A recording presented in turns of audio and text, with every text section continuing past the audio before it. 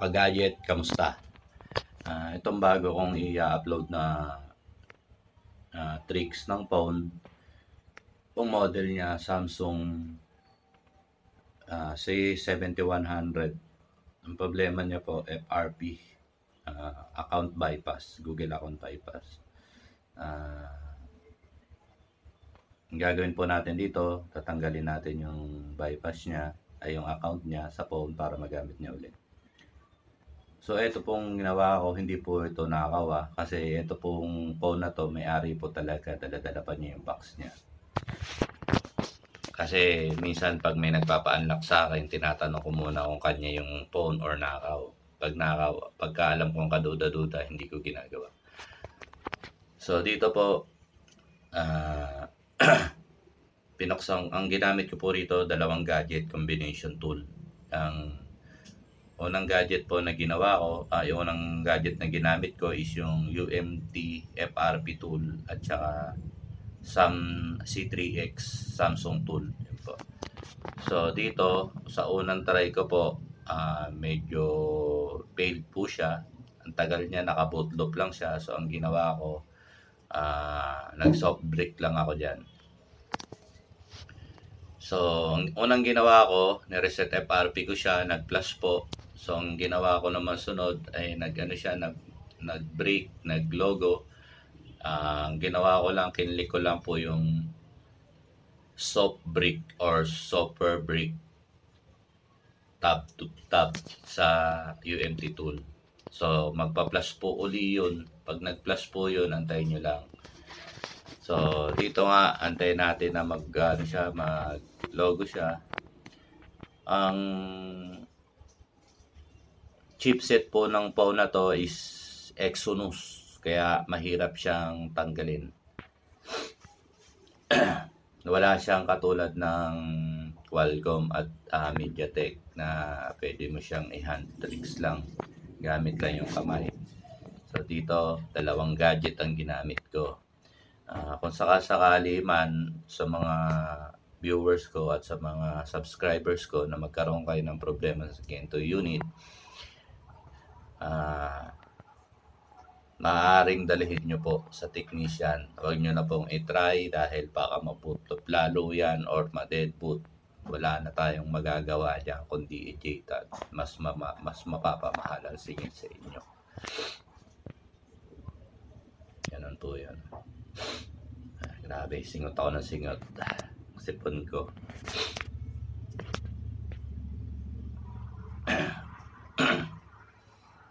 so, yun na nga, nag uh, putlop siya. So, maya maya, i, ano, i, uulitin natin yan sa download mode. So, mga kagadget, uh, paalala ko lang po uli, uh, please, please, please, please, uh, share my videos, uh, and say to your friends, please subscribe, and click, and click notification bell. Uh, kung may mga tanong, just comment down. Babasahin ko po yan. Uh, pagka nag-review po ako sa akin channel. uh, at isa pa pong paalala, kung kayo po yung mag, uh, magpapagawa sa technician at namamahalan kayo, eh, wag na lang po kayo magsalita. Just leave and uh, find another technician. Pero sasabihin ko po sa inyo, ang technician na mahal maningil, garantisado gumawa. Yun po. Yan po ang number one na paalala ko sa inyo. Kasi marami po sa technician talaga standard maningil. Uh, marami rin naman technician na hindi standard maningil pero hindi ko lang po alam kung garantisado o hindi garantisado yung gawa nila. so, yun ang mga ka-gadget, no? Nakahang logo pa rin siya. Titingnan pa rin natin kung anong nangyayari. So,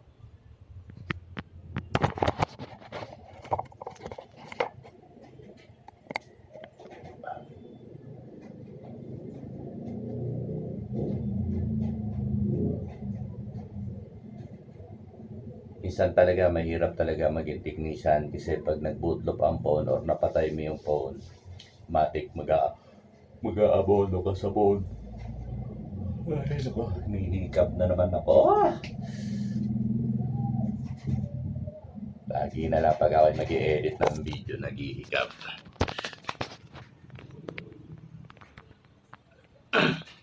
sa media, eh, so dito, pagka alam niyong matagal na sa Samsung logo, eh, wag na lang kayo mataranta. Marami naman pong paraan. Try nyo po muna i-hard reset or gamit kayo ng, ah, ng crack software na may pang soft break. Babalik po din ulit yan. Ganun lang po yan. So, dito, ilang beses ko siya tinry na buhayin. Kaya wala. Kaya ginamitan ko siya ng soft break para mag-plus uli. After po nung mag-plus na yon, mabubukas po yung OEM na. O, ah, USB debugging. Na kailangan po natin kasing may on yung USB debugging para ma-reset natin yung FRP. niya.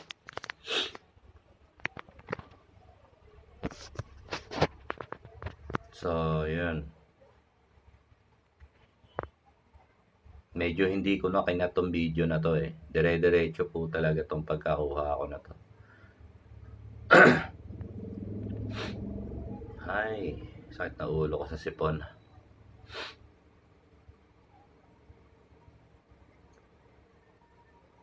Ayun, dito naisipan ko na siyang i-download mode. Download mode po natin is volume up, ay volume down, home button, and power switch. Ulitin ko, volume down, power, bot, ah, power button, and home button. Yun po. Tatlong sabay po, antayin nyo siyang lumabas yung ganyan.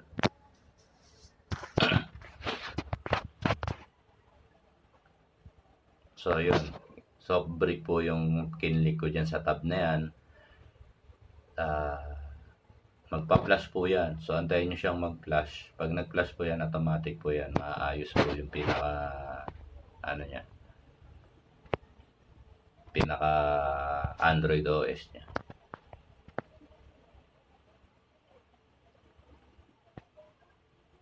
Kaya hindi na natin kailangang mag-download ng firmware para i-program siya or i-reprogram siya.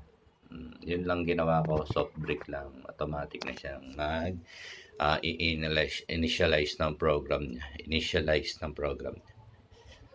So, pasensya na kayo. Medyo baguhan pa ako sa pagbablog. Hindi pa ako ganun ka sanay. Marami man akong video pero yung iba ron, uh, nauutal. Uh, nabubulol.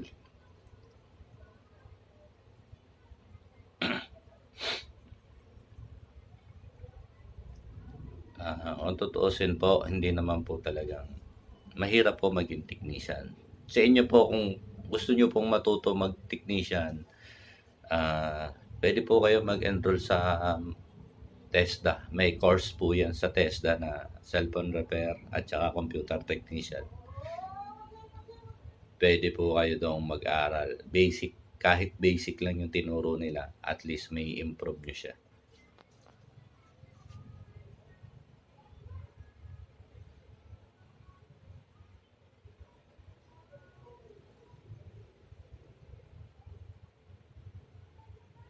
So, yun. Medyo antay-antayin natin dyan. Saglit lang po mga ka-gadget. Leave muna ako ng konti.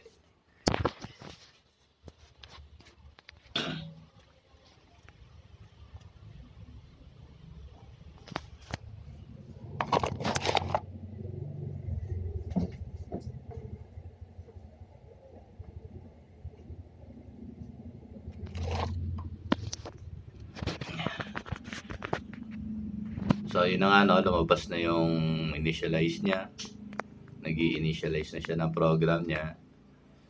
Kumbaga yung nasirang program, ibinabalik niya, inaayos niya. Yun po yung kagandahan dito kay UMT FRP tool. Napakagandang gamitin. Sana mag-update pa ito ng mag-update.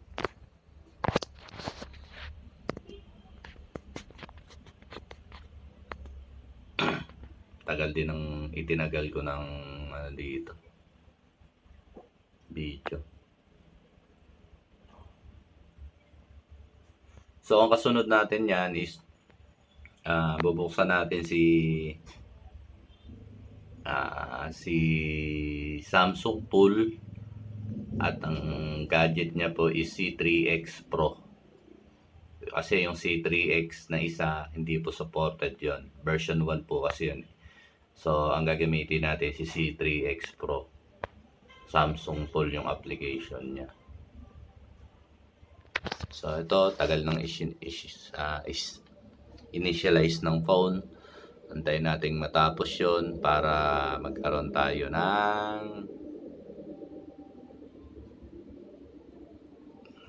fake as.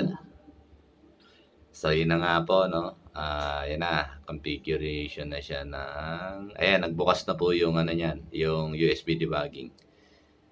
So, ang gagawin po natin dyan is, alam na, bubuksan natin yung ating ah, Samsung tool. Sabi, napaka-arte talaga ni Samsung.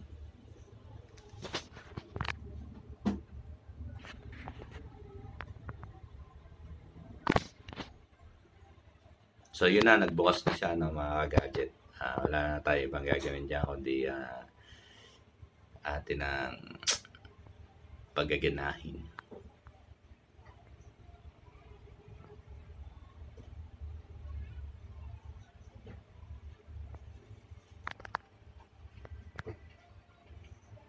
Dream, nagawa mo dyan? Nagawa mo dyan?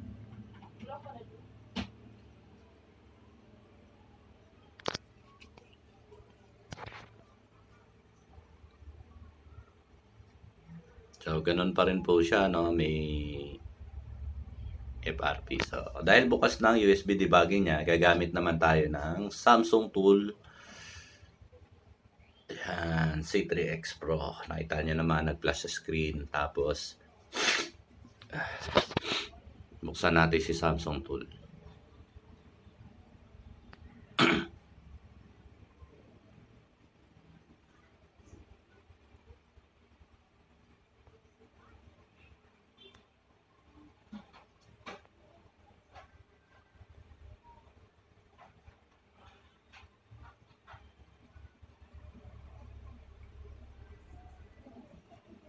Grabe yung aking ano ah.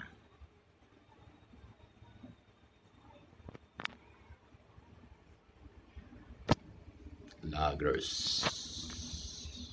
Matagal po talaga magano yan. Initialize yung C3X Pro na yan. So yan no. Select po natin yung ating ano ating model is model po natin is C7100. Yan po. May customer pa ako dyan, no?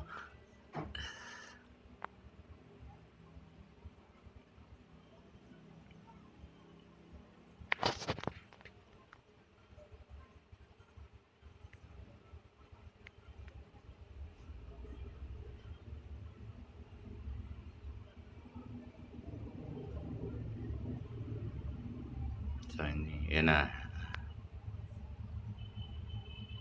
Ayan. Sinelect ko po muna USB debugging. Tapos, yun na po.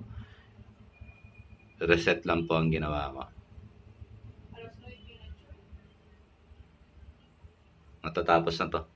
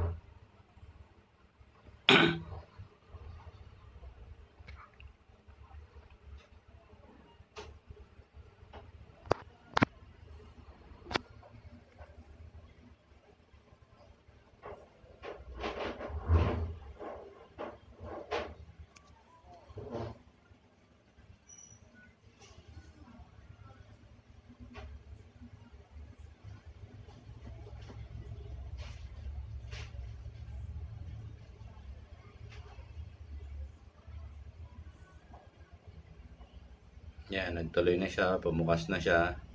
After niya po magbukas, hindi pa po tapos yan. I-reset po natin dyan. Punta po kayo ng settings. Tapos about.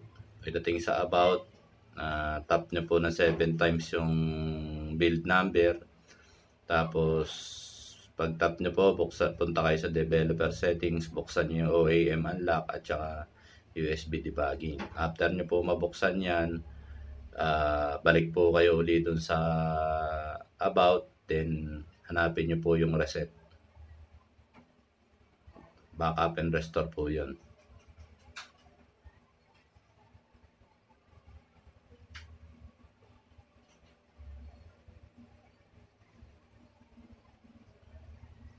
Ayan sa baba.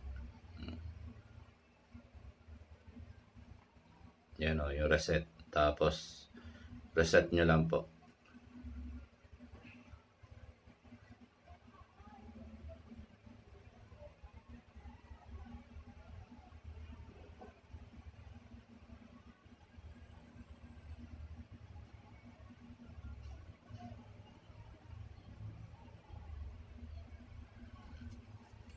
Automatic na po yan. After po nyan, okay na po yung phone nyo. Pwede nyo na pong gamitin.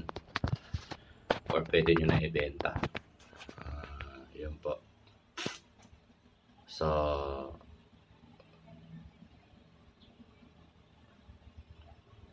alam nyo na naman kung paano ang gawin dito sa huling part na to. So, please subscribe my channel.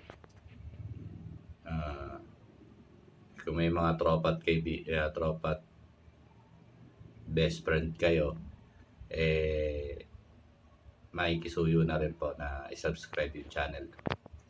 Maraming maraming salamat sa mga nag-subscribe. Nasa ah, konti na lang magiging 200 subscriber na tayo. So, ah, sana po dumami pa tayo.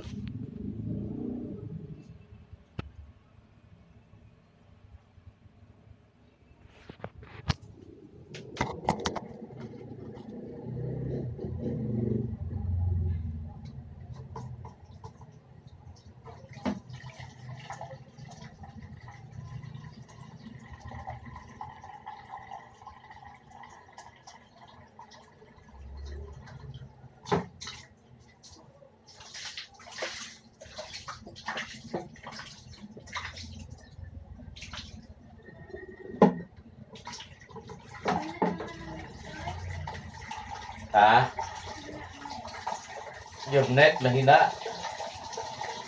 Buti nga, mainit eh. Yan talaga yung PLDT. Bulok eh. Mabilis lang sila maningil ng bayad.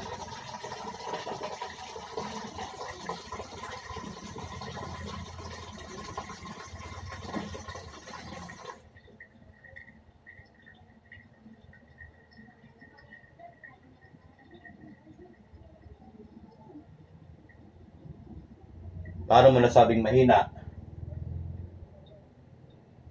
Ah.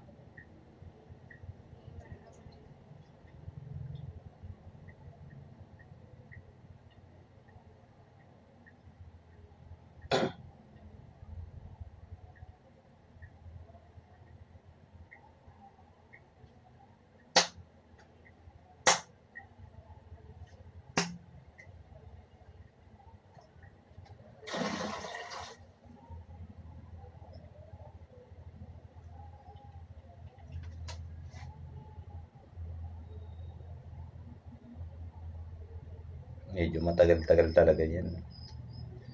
Tagal talaga mag-start up ng Samsung. Kahit kailan. Napaluma o bago nila, ganun.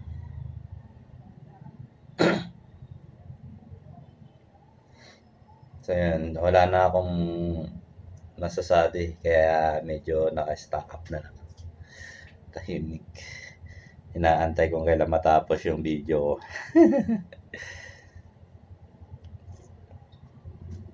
So dito no sa video ko, meron din mga sa mga hindi technician diyan, meron din namang matututunan dito. Ah, kumbaga sa ano, sa mga tricks na iba, may makikita kayo at malalaman kayo. So sa mga nakakapanood na gustong i-apply at mm, etong tricks at saka yung mga tricks na video sa channel ko. Ah, baga sa ano, ah, may mga risk po yan. So kung malakas ang loob nyo at matatag yan, eh try nyo, wala namang mawawala. Sabi nga nila, kapag nagkamali ka sa isang bagay, natututo ka. Kaya, pero wag naman yung laging mali ah. Baka naman puro mali ng mali na eh. Wag mo nang ulit-ulitin pa. Iba na yon.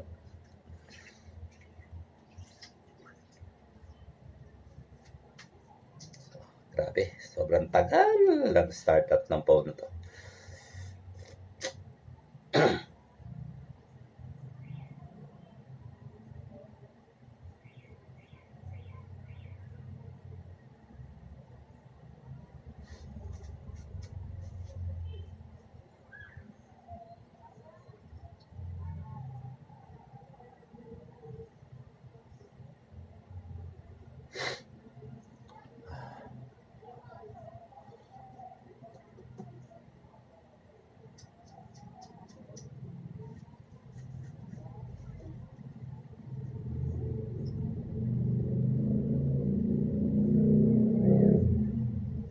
So, mga gadget, huwag kayo magtaka na na ah, yung iba yung sounds na naririnig nyo doon sa actual video. Yung actual video po kasi SSM yan sa pwesto ko. So, kaya ako siya dinilit kasi may mga kanta na pwede ako, pwede kong ma-violate yung rules ng ng ah, YouTube kasi pwede akong makopyright.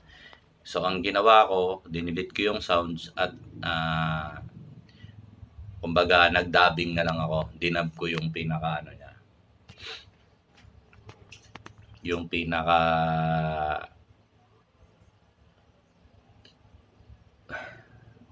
yung pinaka voice niya. So kaya ganito yung kinalabasan ng video ko. Halos lahat ng video ko ganito, ah, nakadubbing lang. Kasi yun nga, bawal nga kasi kay YouTube yung mga kanta na walang paalam na nilalagay mo na lang sa video mo. Ah, yung ano yata, seconds lang yata pwede yun, pero yung matagal hindi pwede. So yun na nga, nag-start up na siya, nag-initialize na ng mga program niya. So antayin na lang natin siyang matapos ah, mga gadget. So paano ah ah, titigil ko na itong pagsasalita ko. Antay na lang natin matapos yung video kasi wala na talaga akong mahisasabi pa. Panoorin nyo na lang po. Sana po sa mga nanonood ng video ko, tapusin nyo naman po para naman mag-count po yung ah, views ko. Madagdagan yung views ko. Ah, almost 2,000 hours na ang views ko. So, naghahabol na lang ako ng 2,000 pa.